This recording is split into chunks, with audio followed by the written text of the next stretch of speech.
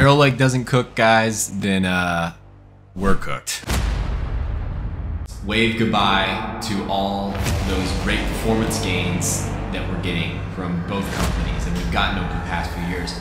Because if Intel can't compete, AMD will not compete either. This is the only thing that can save Arrow Lake. We gotta talk about it.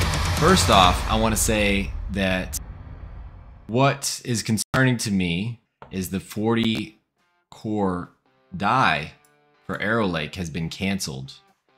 And it's kind of funny. Um, apparently, that one had a 667 watt uh, TDP or a PL4, power limit 4, which is absolutely insane and kind of hilarious. I don't see how that wouldn't melt your CPU. But hey, it's 40 cores, so you got to boost that power, right? There was supposed to be an 8 P core, 32 E core uh, chip, and this chip has been canceled apparently. And there was also going to be the i the Ultra 7, 8 P cores, 24 E cores, and this has also been canceled. So now we're just maintaining the 8 plus 16, 8 plus 12, and 6 plus 8, and then the other ones that no one really cares about. Uh, no, those other ones are fine, but this is the rumor mill that we aren't getting are the full 40 core version, and I'll talk about the significance of that later. Now I wanted to get into performance numbers. We'll start with Lion Cove, which is P-core of Lunar Lake, and Intel has revealed that, but it's also going to be the P-core of Arrow Lake. So Lion Cove will be the P-core of Arrow Lake as well as Lunar Lake. Intel's actually even said this, that it has a double-digit IPC uplift. Now, I'm just gonna count that as 10% IPC uplift because if it's more than that, why don't you just tell me? You know, if you say double digit, I'm just gonna assume that it's the minimum. One thing they said that was kind of cool is the um, clock speed can be tuned in intervals and it makes it a lot more efficient. The front end, the back end, everything is totally different. We reworked from the ground up here on Lion Cove. But 10% IPC, that is crazy to me. We're going from Intel 7 to 20 angstrom, maybe even TSMC 3 nanometer. It's not totally clear what they'll be using for the, uh, the P-core die.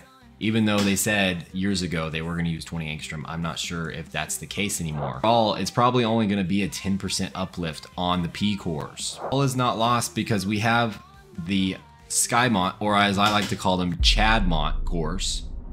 Um, they we've gone to a three wide decode on Raptor Lake to a nine wide. You know, totally new E-core from the ground up. But do not fall for this. They're saying it's giving us 70% more performance.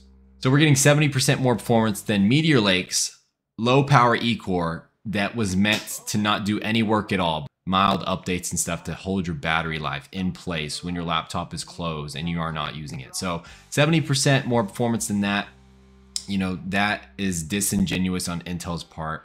This is what I wanted to talk about.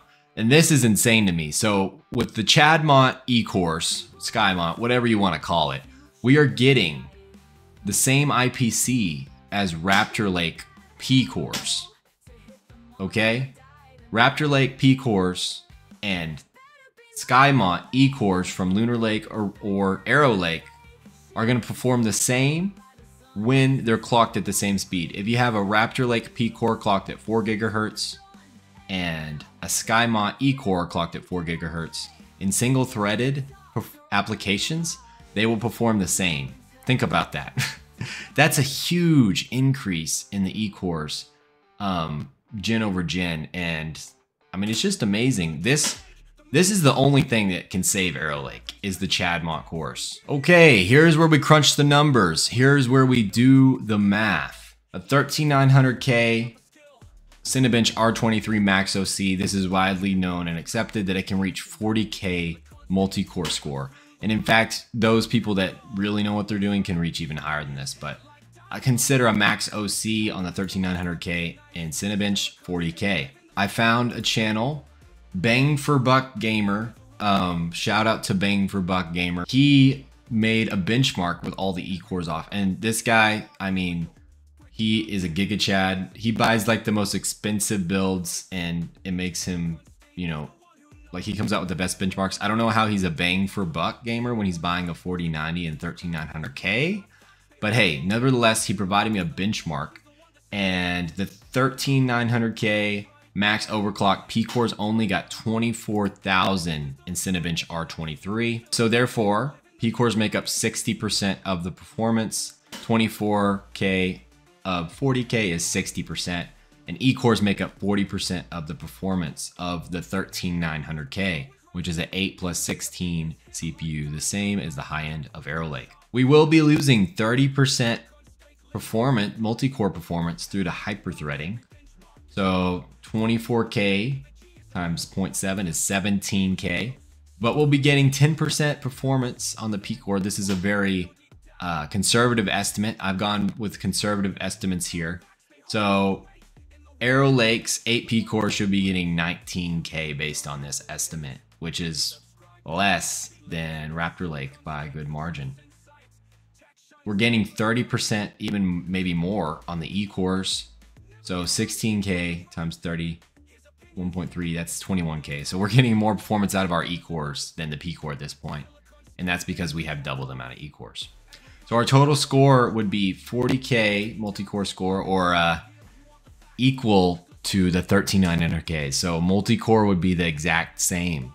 Uh, now, I know what you're thinking. Well, what about for gaming? You know, is this going to have a big impact on gaming, not having hyper-threaded? And my boy Danny's Reviews tested 40 games with his 13900K and he turned hyper-threading off and he found that actually without hyper-threading in gaming, the, the CPU performs a little bit better. I mean, this is honestly due to margin of error, but the 1% lows are actually noticeably better. Um, the, the average is basically the same. So, hey, that's pretty cool. So maybe all is not lost for our the gaming bros out there. So now for all the Intel fanboys, I know where you are. And I know that you're saying, nah, there's no way going from 7 nanometer to 20 angstrom or 2 nanometer we're only going to get 10% on the P cores. That is bullcrap. You don't know what you're talking about, Silicon Steak. Okay, I hear you.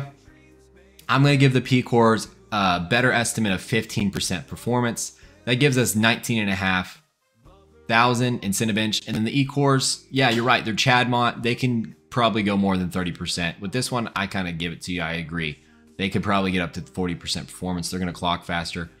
That's 42K. So now we're only 5% faster with this estimate that's a little bit more favorable for the Intel fanboys.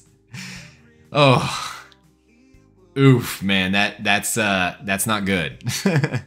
now I hear those Intel fanboys saying, all the people saying in the comments, hyperthreading ain't nothing. We don't need hyperthreading. Dude, hyperthreading's always been a joke. We we never we don't need all those threads. We just need fast single thread.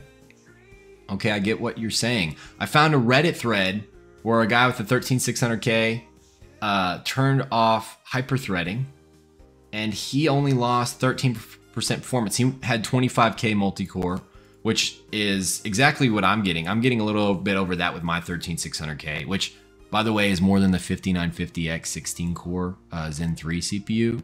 So if you find a 13600K for $200, and you want that multi-threaded performance, just go with that. Don't get the 16 core 5950X. It's way worse because the single threaded is worse on it. But I digress. What's up, boys? My video software totally crapped the bed and my audio and video are not synced up. So I'm to finish this last part within my editing software. So hyperthreading ain't nothing, nothing. We only lose 13% multi-core.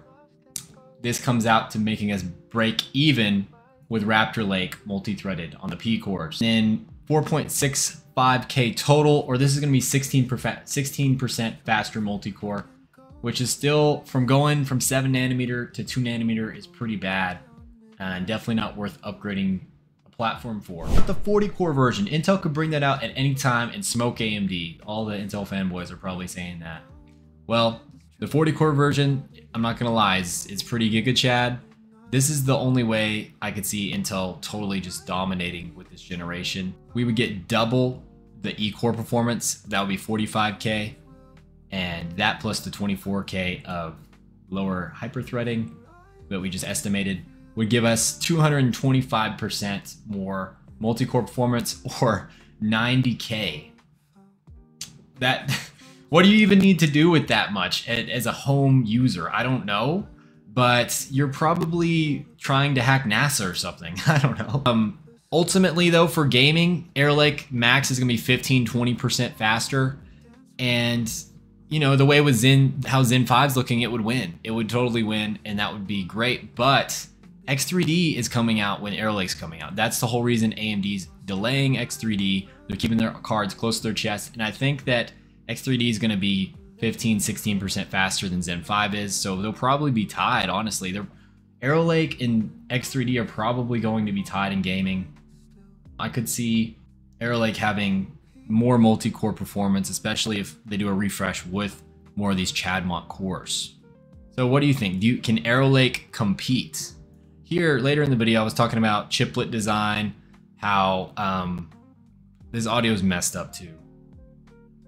But basically, Arrow Lake's going to be a chiplet. I don't like chiplets, especially for gaming. They increase latency and lower bandwidth. But the way that Arrow Lake is doing its chiplet is on a silicon interposer uh, through Foveros. And basically, it gives you monolithic-like performance while still being a chiplet. And it's very expensive. AMD, they have this primitive technology that is just wires uh, that they connect the chips with. And it's very old school. It's like how your how your CPU connects to your graphics card.